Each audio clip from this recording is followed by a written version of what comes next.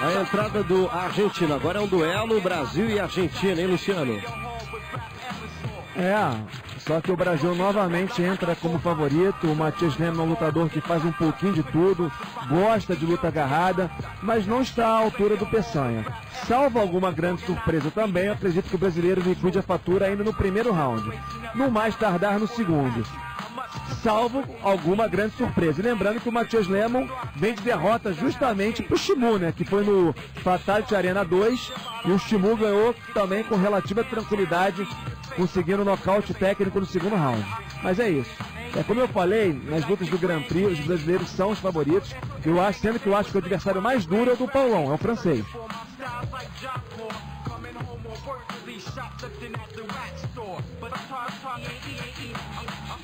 Like Nathan Wake storming out so cheesy. With a big baseball bat, get ball like De Niro. But Sanders still ain't nothing but a hero. Just a small sample of the abstract. When the rhyme get crazy hot and lyrics don't know how to act. Just a small sample of the abstract. When the rhyme get crazy hot and lyrics don't know how to. Just a small sample of the abstract. E para enfrentá-lo, Leonardo Peçanha. Porra, vagabundo, vou te falar, tô Vem aí o Leonardo Peçanha, e tá entrando, já dando uma corrida forte aí para chegar perto do octagon. Chegou cheio de energia, hein, Luciano? É, ele é da Nova União, faixa preta de jiu-jitsu do Wendel Alexander, faixa preta dos bons, tem um bom nível técnico no chão, um ótimo nível técnico no chão. O Wendel, que como eu falei, é um dos melhores treinadores do mundo. Aí também o Chico Mello aí de boné cinza, que foi lá o porco do Tropa de Elite 2, né, que foi morto no início do filme. Ele é faixa preta também da Nova União. E mas o Peçanha tá melhorando em pé, mas eu acredito que ele coloque a luta para baixo e use o jiu-jitsu dele e finalize. É o que se espera, né? Se isso não acontecer, vai ser surpresa. Então o Peçanha é favoritíssimo para a luta. Aí Leonardo PC que vem de derrota pro Tyler Kingston, né, no Bellator. Luta que aconteceu em junho do ano passado, tá de volta aí ao MMA Leonardo Peçanha, lutador de 20 lutas já no cartel. Vamos dar uma olhada no currículo aí dos dois, a ficha técnica também. O argentino tem 27 anos, o Leonardo Peçanha 28 anos, os dois com 84 quilos, é mais alto o brasileiro. E aí a gente vê no currículo 5 vitórias, 5 derrotas do Matias Lemon, 13 vitórias, 7 derrotas do Leonardo Peçanha. Inclusive, ah, senhoras e senhores, vamos então ao anúncio oficial dos lutadores que tem no canto azul da cidade de Rio 4, Córdoba, na Argentina, da academia Top Fighting Team, praticante de Muay Thai Submission, em seu cartel. 10 lutas, 5 vitórias, 1,77m de altura, 27 anos, Matias Lemo!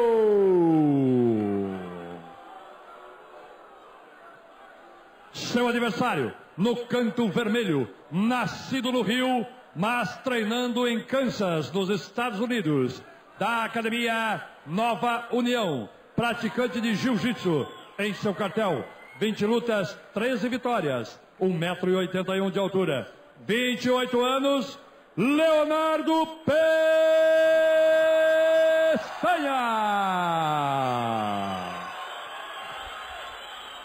É, Lucas. Por favor. As regras foram passadas para vocês anteriormente.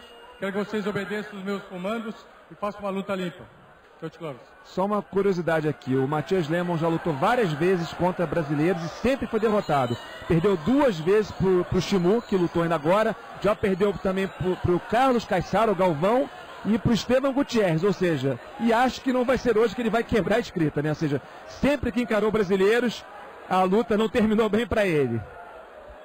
É, e o outro Peçanha nesse evento, né, o Ricardo Peçanha, perdeu para o argentino. Vamos ver se agora o Leonardo Peçanha vai ganhar de um argentino, o Matias Lemon. Vale a nossa torcida para ele.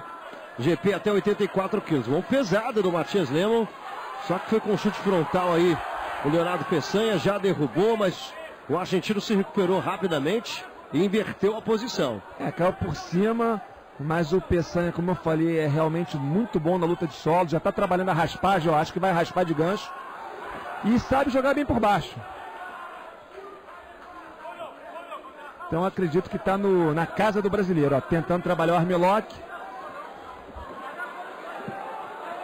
Pode ir para o triângulo também, mas o, o, argentino sabe do risco que está correndo e se levantou, mas já manteve a posição.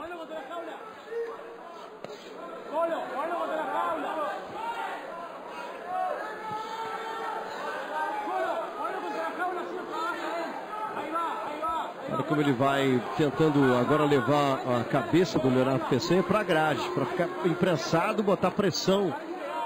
O Matias Lemon tá jogando por cima aí. Iniciozinho de luta.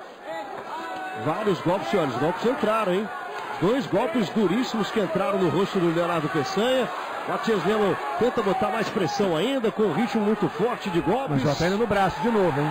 Pegou. E já bateu, já bateu o Matias Lemon, vitória do brasileiro. Uma finalização fulminante e sensacional. Ele estava levando vários golpes, pegou o braço e aí rapidamente o Matias Lemon bateu a vitória do Brasil contra a Argentina. É, o argentino estava até dando um susto na galera, mas como eu falei, a diferença de nível técnico no chão é imensa. O Peçanha fez valer a técnica dele de jiu-jitsu, finalizou bonito, rápido, né? Estava inclusive sendo golpeado, mas deu a lógica, né? Brasileiro era o favorito, venceu. Parabéns para o Peçanha. E dessa vez não deu Argentina, né? Na primeira deu, acho que foi até uma zebrinha, mas agora deu Brasil. Vamos chamar o atleta da seleção brasileira, dez vezes campeão pela seleção e também classificado para os Jogos Pan-Americanos em Guadalajara, Marcelo Zulu.